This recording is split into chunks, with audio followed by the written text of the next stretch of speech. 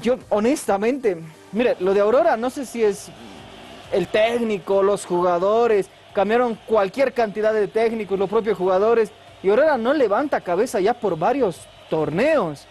Y en este partido en específico, la presión estaba sobre los jugadores, porque despidieron al técnico, Valdivieso se fue, y si no hacían un buen partido, entonces, lógicamente los dados apuntaban a los jugadores, porque no importa qué técnico venga, si de todas formas este equipo no, va, no va a levantar cabeza.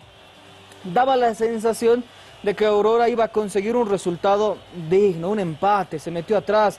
Estuvo Sergio Ceballos, director técnico de las inferiores, ¿no, Alex? Así es, es el, que está a cargo del plantel hasta que termine el torneo. Eh, por, ahí se ha generado alguna crítica hacia la dirigencia, que lo ideal sería ya tener un técnico para que este vea justamente estas deficiencias que tiene en el tema de los jugadores y, ya para el próximo año se, se, contrate lo que se quiera, ¿no? Pero bueno, los dirigentes están realmente no. Y estos jugadores, obviamente, Remy es producto de esta planificación, ¿no? De la dirigencia con Valdivieso. Por eso que, eh, que se vaya Valdivieso a esta altura y no era lo, trascendental, ¿no? Pero eh, la derrota también con Bolívar pesó muchísimo, dolió, enojó a los directivos del equipo del pueblo y por eso es que también se le decide bajar el pulgar al técnico Cochabambino. Por lo menos en este partido se cerraron, tuvieron también el factor de suerte, ataques de uno que está en lucha también para ser eh, campeón, que es Royal Party, y que tiene partidos en la ciudad de Santa Cruz, que es una ventaja comparativa para ellos.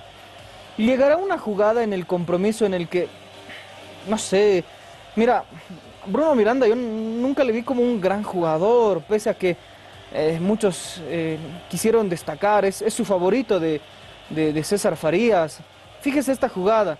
El remate va al palo, al segundo palo del portero, pero va incluso hasta desviado. Hay una cámara en la transmisión que muestra que el balón no tenía destino de gol, pero hay un rebote con tanta mala suerte que Bruno Miranda al minuto 89 marca el único tanto del compromiso. Y fíjate cómo va este otro a gritarle todo al arquero. Bueno, en fin, va a decirle hasta de lo que se iba a morir. Bueno. Y, sí. Y, eso, ¿no? Un gol de, como decimos acá, de chicha y, cómo le, le, saca, le refriega, ¿no? El gol al portero Torrico. Pero, a ver, el primer tiempo que, para mí fue aburridísimo, La primera etapa sí que fue para el bostezo. Ya el segundo tiempo hubo alguna mejora por parte de ambos equipos, de ambos, y pues, a raíz de eso también llega este gol que fue suerte, creo, fue suerte Remy por lo que usted comentaba y por lo que se vio en tema de las imágenes que vio la empresa que tiene, que transmite los partidos. Y bueno, el 1 a 0 es eh, esto, ¿no? Esa es la imagen. Este Esa es la imagen donde el disparo no tiene destino de puerta. Fíjate dónde, dónde iba el esférico. No tenía disparo de gol, pero rebota con tanta mala suerte y el balón hace una comba extraña, ingresa.